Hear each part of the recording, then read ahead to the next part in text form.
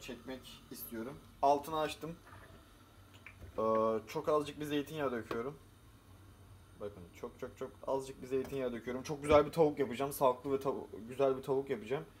Ee, bu zeytinyağını zeytinyağı şu an çok büyük bir diyette değilim biliyorsunuz. O yüzden kullanabiliyorum yani yağ falan. Etleri kullanarak onu bütün tavaya yayalım şöyle iyice sıcaklaşmadan. Burada yaklaşık 250 gram falan tavuk var. Bunu tavuğun göğsünden yapmadım ben. Bu tavuğun tavuk pirzola. Bu arada. Ama siz göğüste yapabilirsiniz isterseniz. Bunları tabii benim gibi e, benim gibi ilk insanlar gibi elinizde değil, siz kaşıkla falan da daha güzel yapabilirsiniz. Şimdi bakın birazcık yağ koydum ve bunları e, güzelce pişireceğim. İyice pişirdikten sonra e, neyse bunlar böyle güzel bir pişsin. Birazcık karıştıracağım, karıştıracağım, karıştıracağım. Tabii elimle diye sıcak olduktan sonra elimle yapamam. Karıştıracağım, karıştıracağım, karıştıracağım. Ee, iyice piştikten sonra bir sonraki adımı size göstereceğim. Doğaçlama güzel bir video olacak. Sürekli yediğim, keyifli, e, diyetteyken de, aşırı diyette değilken ama sağlıklı beslenirken de kendime tatlı, güzel, e, besleyici bir öğün hazırlıyorum. Bol karbonhidratlı, bol proteinli. Bunlar pişiyor gördüğünüz gibi çok az var. Burada e, buzluğa, buzluk, buzlukta birazcık charleston biber vardı. Charleston biber de ekleyeceğim. Bunu kendi damak tadınıza göre istediğiniz şeyler ekleyebilirsiniz. Yani ben biraz böyle damak tadı pis bir çocuk olarak buna domates, biber her şey ekliyorum ama şu anda çok fazla bir şey eklemeyeceğim. Bunları biraz daha pişireceğim.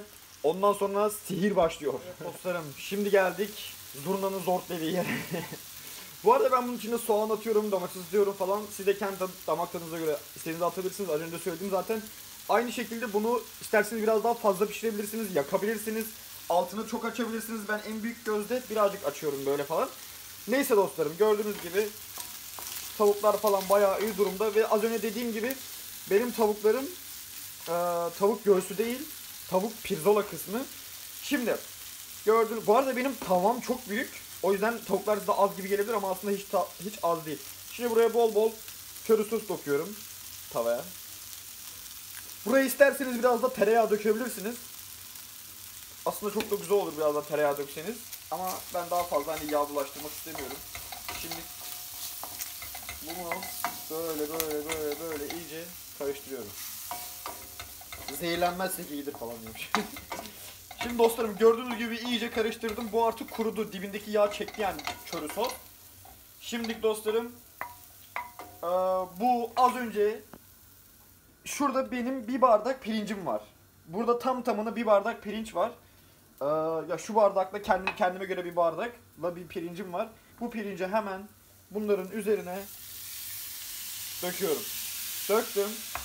Birazcık karıştırıyorum çok az. Şöyle karıştırıyorum. Bu pirinci sadece yıkadım bu arada. Yıkadım ve eee, birazcık böyle nişastasını alması için bu yemek pişene kadar beklettim. Yani çok az yani. Bir dakika falan. Şimdi hemen daha fazla beklemeden şurada çay yapmıştım. Sıcak suyum var. Sıcak olması lazım su bu arada. Sıcak suyum var benim. Sıcak sudan eee bardağıma koydum. Pirinci aldım bardağımla. Bir, bire iki su eklemeniz gerekiyor tavaya. Bak birazcık koydum. Biraz daha koyuyorum. Yani ben eee, bir bardak pirinç eee, bir bardak pirinç ekledim. iki bardak da su ekledim. Ve bunu böyle güzelce suyunun çekmesini bekletiyorum. Bu şimdi suyunu çekene kadar eee, burada pişecek. Ortaya nasıl bir şey çıkacağını, nasıl piştiğini her şeyi göstereceğim. Ve bu eee, tam bu kısımda ya ben bu kısımda seviyorum. Yani yemeğin tuzla pişmesini çok seviyorum.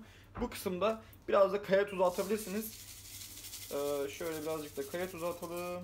Antrenmandan önceki öğünüm olacak bu benim. O yüzden e, tuz tuz ekleyelim birazcık ki güzel güzel pump olsun. Ben bunun kapağını kapatmıyorum çünkü kapağını kapatırsanız uzun uzun pişer.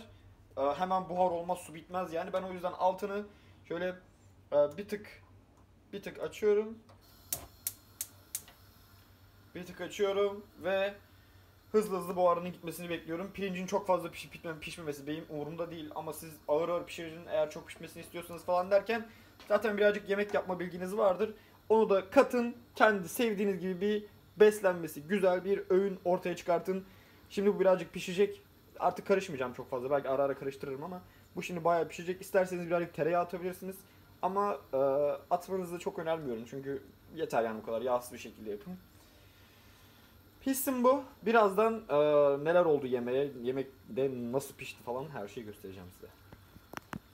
Yemek pişiyor gördüğünüz gibi. Bu sırada minik bir kapı, kamu spotu vermek istiyorum. Dostlarım kendi yemeğinizi yaptığınız zaman gördüğünüz gibi e, tezgah silmeseniz bile bakın ben de silmedim. Ama tezgah silmeseniz bile e, en azından ufak bir kenara atabilirsiniz benim gibi. Yerini bilmediğiniz şeyleri kenara atabilirsiniz. Veya ben de sürekli kullandığım için burada kalıyor. Bunun yeri aslında burası.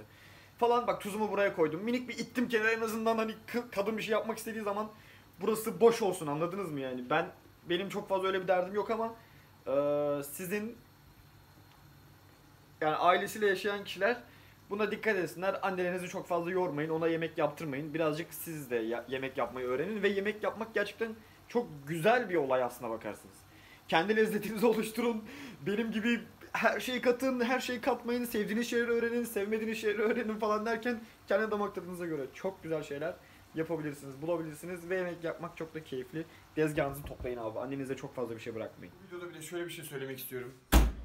Lütfen yarışmaya hazırlanmıyorsanız eğer sağlıklı beslenmeyi kendinize eee, böyle güzel bir şekilde yapın sağlıklı beslenmeyi ki bu beslenme modelinden sıkılmayın.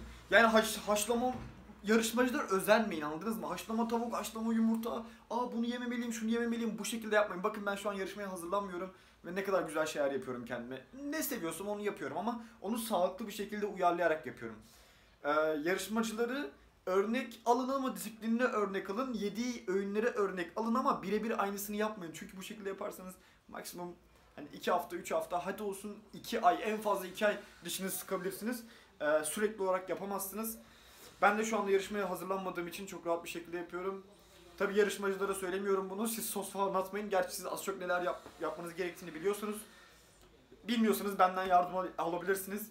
Ee, Instagram'dan bana yazıp fiyatları falan öğrenebilirsiniz. Uzaktan eğitimle, yarışmacı hazırlıkla ilgili, ilaçlarla ilgili e, her şeyi öğrenebilirsiniz. Ee, yemeğe geçelim artık bakalım ne durumda. Bakın gördüğünüz gibi Gördüğünüz gibi dibindeki su nereye çekiyorum? buraya çekiyorum. Bak buraya çekiyorum, burayla oynuyorum anasını.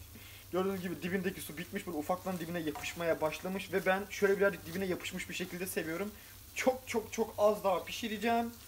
Sonra tabağıma alacağım. Sonra zaten tabağımı ve neler içtiğimi, yanından hangi vitaminleri aldığımı ufak bir göstereceğim. Sonracığıma yiyeceğim yani. Sonracığıma devamını bilmeyeceksiniz. Sonra yiyeceğim ne? 2 saat sonra antrenmana gideceğim. 2 saat sonra antrenmana gidin. Yediğiniz yemeğin midenizde iyice sindirilmesini bekleyin. Sabredin. Ee, yemekten hemen sonra spora gidilmez. Ee, kan midede toplanır falan buna girmeyeceğim.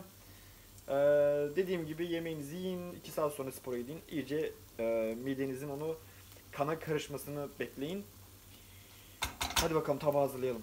Hazır ama görüntü için özür diliyorum. Çok fazla görünüşe önem vermiyorum ben biliyorsunuz yemeklerde. Besin değeri daha çok e, beni ilgilendiriyor. Çünkü bir bodyciyim bildiğiniz üzere.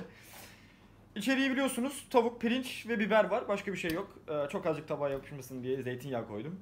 C vitamini. e, bu bildiğiniz C vitamini. Yemeklerin yanında bazen BCA bazen C vitamini içiyorum.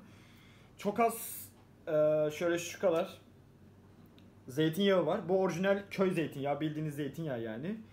Ee, yemeğin yanında temsili yağ olması da çok önemli. Kuru yemiş olabilir, Hindistan cevizi olabilir, avokado olabilir, zeytinyağı olabilir. Orijinal zeytinyağı çok çok çok iyidir. Köyden bulun, köylü birisinden bulun, alın abi bir yerden. Ee, birazcık vitaminim var gördüğünüz gibi. Şu gördüğünüz e, turuncu sarı olan koenzim. Onun yanındaki beyaz e, glukopür diye bir e, vitamin. Ucuz bir vitamin aslında alabilirsiniz. Onun yanında gördüğünüz balık yağı. Ben balık yağını küçük MG e, yani az besin değerli, az omega 3 değerli e, günde iki defa almayı tercih ediyorum. Sabah ve akşam olmak üzere. E, bu diğeri şu gördüğünüz kahverengi olan Kompleks erkekler için multivitamin yani erkekler için yararlı olan e, vitaminler ve birazcık daha değerleri fazla yani kadınlar gibi az değil. E, onun yanında gördüğünüz beyaz şu da kompleks B vitamini. E, öğünüm gördüğünüz gibi bu şekilde. İzlediğiniz için çok teşekkür ediyorum. Beni Instagram'dan takip edebilirsiniz. Seviyorum sizi. Peace out.